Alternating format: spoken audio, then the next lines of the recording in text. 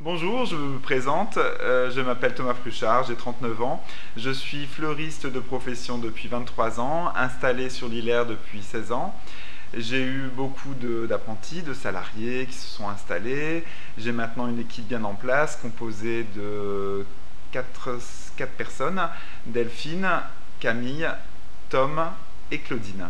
Nous avons récemment ouvert un deuxième magasin au des fleurs au centre de l'Hilaire qui nous sert aussi d'atelier pour euh, Thomas Fruchard pour préparer tout ce qui est euh, composition intérieure, extérieure en plantes et où nous donnons aussi euh, les cours d'art floral tous les mois, deux dates par mois et trois horaires à chaque date.